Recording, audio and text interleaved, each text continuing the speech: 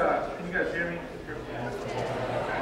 Well, they asked me to come in and talk to you guys about perseverance and hard work and you know things like that. And I thought probably the best way to do that is to kind of give you a background of my life story. And uh, you know, I've had a few um, few bumps in the road, so to speak. And uh, I guess I do play in the NFL now, and um, things seem to be going pretty good.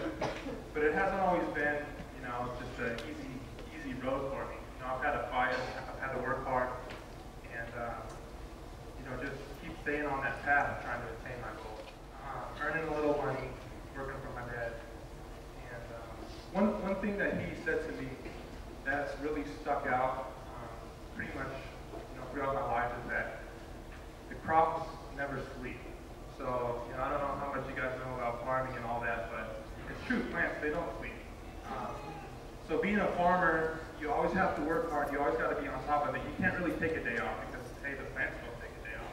So I've kind of uh, used that and try to apply that to my life. You know, always just work hard, you know, always just stay on the grind, always keep, you know, moving forward. I, was, I just met some of you guys going on to play college, um, college ball. And uh, the biggest thing I can say to you guys is get your degree.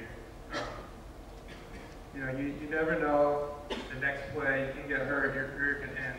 But um, you get that degree, and uh, that's something that nobody can ever take away from you. Uh, okay, so now going back to uh, going back to 2011, drafted to the Broncos, and uh, you know, like I like I hinted at earlier, it, it wasn't a smooth ride. It, it was very very rocky. Um, my first year got cut at the end of training camp. And I was like, oh, you know, what, what now? Like, what do I do? I, I dreamt about this moment my whole life, and I finally get here, and I get cut. Next year, training camp, get hurt, get cut again. I'm like, oh no, you know, I've gotten cut twice now. Uh, what's going on? Um, get picked up by the uh, Tennessee Titans spend a little time over there on the practice squad, get cut. Jacksonville Jaguars, a couple weeks, cut. Um, so in less than two years, I've, I've, been cut from the NFL four times. You know, my, my dream of playing in the NFL, is, it's not looking so good anymore. Uh, 2013, get signed on to the Houston Texans. You know, they just came off the 12 and 4 season. They had you know, a pretty good year everybody's talking Super Bowl and this and that, so I'm really excited, you know. Uh, come in, have a really good training camp, cut again. And uh, so, you know, now I'm really starting to doubt, you know, if, if football's a, a thing for me. Um, cut five times and five or six times in less than three years. And uh, I was I was definitely discouraged. But, you know, just keep grinding, keep pushing, keep working.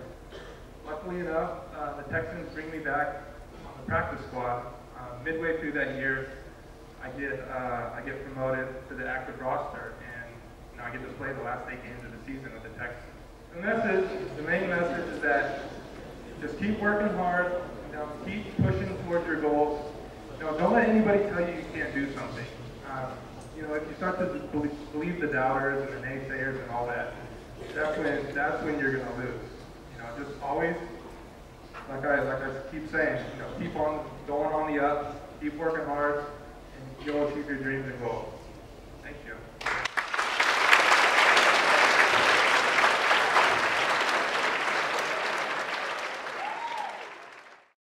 On behalf of our school, please accept these small tokens of appreciation from Coach Hill and the Panther varsity football captains. We hope that from this day forward, you will consider yourself an honorary Panther and know that you're always invited and welcome on our campus. Uh, now that we know that Marshall has the same first initial, we will reserve number 54 for him when he becomes a Panther.